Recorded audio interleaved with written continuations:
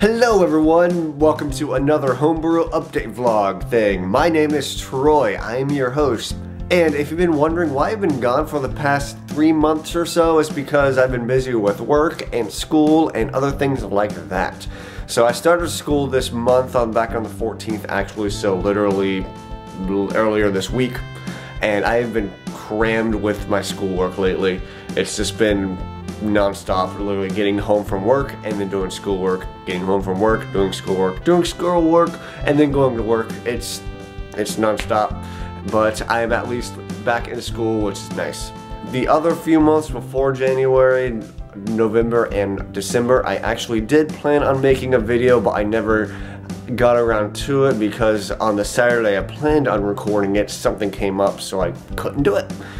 So yeah, that's that. I do have some things to talk about when it comes to the homebrew side of things, but I just kind of want to give you a hello type of deal, an update on what's been going on, and also when it comes to the next homebrew update stuff, I also don't know when I'll be getting it done because obviously school. I'm literally fitting six months worth of school or four or five months worth of school into literally a month and a half.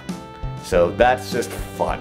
With that being said, let me go ahead and give you an update on what has been going on. A lot of the stuff that I actually had for the last video I was trying to make has now been turned old, so I will not be covering that, but I'll be covering just the big main topics that you really need to know about. So the very first thing is going to be on the Nintendo Switch. This is still old, but it's still very important. 6.20 firmware has actually been released, the official firmware and it has already been cracked which is great. I am actually running it on my Switch so that is very fun. And it works. All custom firmwares work for that I know of that I've checked last. I know they were having problems with the ROS NX or Ray whatever it's called. Um, so just make sure that I'm gonna make sure that that is updated and put a link in all that in the description for you to whatever you need to know about it um, that's all for the Switch. The next one was going to be the PlayStation Vita, which we saw a lot of stuff going on. Especially with my last video I made, a lot of people have been wanting more Vita stuff. So, here you go. Version, official version 6.70, not 6.70, 3.70 has been released on the PlayStation Vita and TV. So, with that being said, do not update because obviously you don't want to you know, patch anything that's also that could be vulnerable with your system. I can't remember who it was, but someone is actually someone that has said that they are working on making games run on six point making 6.69 I can't say that making 3.69 games run on lower firmwares he actually has got it to work and it is called reF00D the decryption keys in 3.70 are still the same as what they were in 3.69, which is great, meaning refill, reF00D still works. And also TheFloW has stated on Twitter uh, that the 3.69 exploit that he had planned for 2019 still should work on 3.70, which is amazing. So people, just because you are on, say, 3.69, don't update to 3.70, stay on 3.69 because there's no point since you could even run 3.70 games on 3.69. okay, with that said, the next thing I want to talk about is the... Let's talk about PlayStation 4. Um, CelesteBlue, I never say his name right.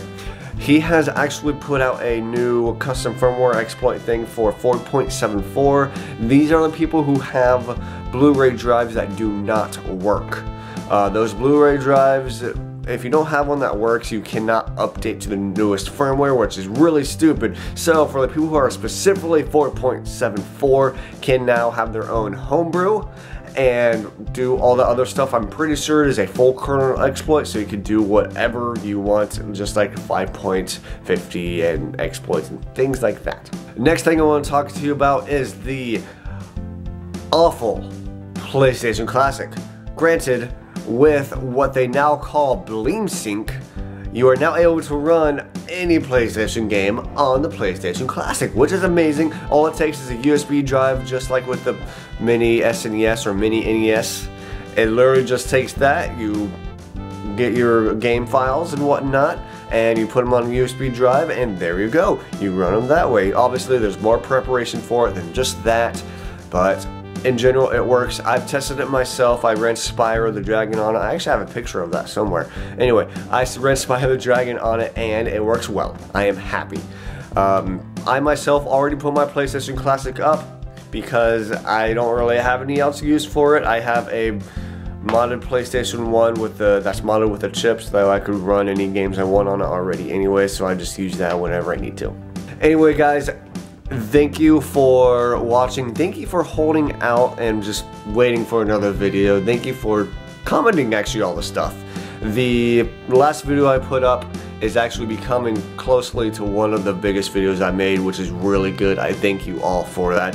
And just like I always say in all my other videos, if you like this video, please hit that like and subscribe button. Don't forget to hit that little bell icon just so you don't miss any of my future videos. And guys, with that, I will see you next video.